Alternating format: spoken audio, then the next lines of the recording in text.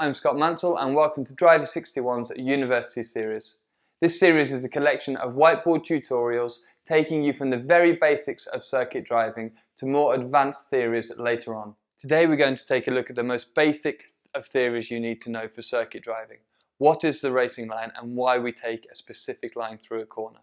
Now it may be that you already know how to take a racing line, but you may not know why, and that's always a good thing to learn. So first up, we're going to take a look at the segments of a corner.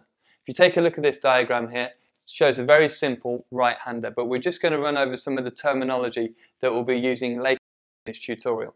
So we're arriving at the corner, we get on the brakes, and this is what we call the braking point. Very, very simple. After this, as we're decelerating the car, we have the turning point, which is where we turn the car into the corner. At the turning point, we're actually aiming for the apex point, which is where you and the car will meet the inside of the corner to maximize the arc and speed through that turn. After this, we have the exit point, where we allow the car to push all the way to the outside of the circuit. Now, this is a very simple diagram designed just to show you these specific points of the corner. It's important to remember that your, your line will not always be this perfect when you're on the circuit. And to be honest, this is the line for, for this corner in isolation. If there's a, a, a longer straight after it or a, or a corner that may turn left or turn right, your line through that corner will be affected by what follows the corner itself. It also depends on what kind of car you're driving. If you're in a slow car or a, a car that isn't very powerful, your line will be different to if you're in a very, very powerful so now we're going to take a look at the geometric line. The geometric line is the perfect line through a corner, the mathematical best line through a corner if there's nothing else influencing that corner. It's the best use of a circuit. So you can see here on the green line we have the, the perfect geometric line. It's actually symmetrical side to side and it's the, the, the line of least resistance as you're coming through a corner. It's the biggest arc that you can take through the corner. As you can see here, we're using every inch of the circuit. We're going from the outside side to the outside again. And really the whole purpose of this is to make the corner as wide as possible. The wider the corner, obviously the faster the corner, and that improves your lap time. If you even take a few inches uh, away from the edge of the circuit on the corner entry, there's no way that you can carry as much speed through the corner as if you're using all the road on the outside. So when you're driving, it's very important that you try to use every inch of the corner. However, when we're racing or driving on a circuit, the geometric line often isn't the quickest line through a corner. The reason being that after the corner, the straights or the following corner are, are very important too. So for example, um, if we're coming through this tight right-hander here, the section after the corner is often more important than the corner itself, as if you carry one mile an hour more on the corner exit, you continue to carry that speed all the way down the next straight. And this comes to a, a big reduction in lap time, which is what we're aiming for. So really, we need to change our line to focus on the exit of the corner rather than the entry that we saw here on the geometric line. So what we do, if you look at the the green line is the geometric line. It comes in quite early, reaches the apex in the middle of the corner, and then pushes out and uses all the road on the exit. It's the smoothest curve through the corner. However, if you take a look at the orange line, you can see that we come in a little bit wider, the turning point is a little bit later, and we try to open up the exit here so that we can get out the corner as fast as possible. Now the positives of the ideal racing line Firstly, you're spending less time in the corner. This period where you're turning the car is shorter. Obviously, the car can go the fastest in a straight line, so we really want to minimize the time that we're turning the car.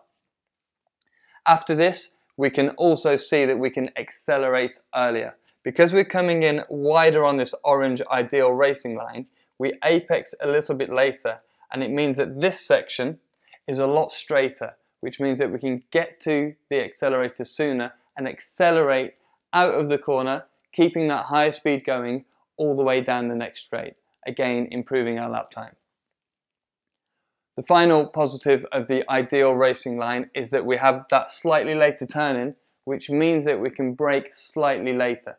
Because we're, we're beginning this turn a little bit later than the geometric line, it means that we can continue on the accelerator on the previous straight for a little bit longer before we then get on the brakes. Now the only negative is that we are turning in a little bit later and this means that we have to turn the car a little bit tighter. Because we're not on the perfect geometric line here where the, where the radius is constant, we have to do more turning in this period here, which means that we have to turn the car a little bit more. When you need to turn the car a little bit more, it means that the minimum speed in this area will be slightly lower than a geometric line, but you more than make up for this on the following straight. Now if we take a look at the, the graph at the bottom here, it shows speed versus distance for the car in this corner here. So the green line is a geometric line. You can see the braking here, the corner, and then the acceleration out of the corner. And the orange line is the ideal racing line. So the advantages of the ideal racing line is that we can brake a little bit later. So we have a higher speed a bit further into the corner.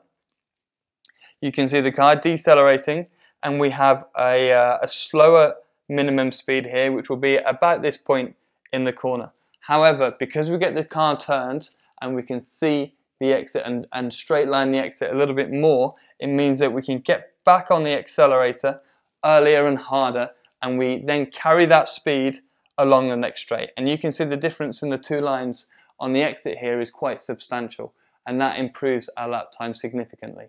So one final thing to note is that the faster the corner, the closer to the geometric line will be and the slower the corner, the, the, the further away will be from the geometric line where we're actually focusing more on the exit speed rather than the mid speed or the, the, the apex speed. So as you can see here, uh, we have a hairpin, 180 degree hairpin. The green line again is a geometric line. It comes in with the perfect curve and then pushes out. However, the, the orange line, as you can see here, is substantially different to the geometric line.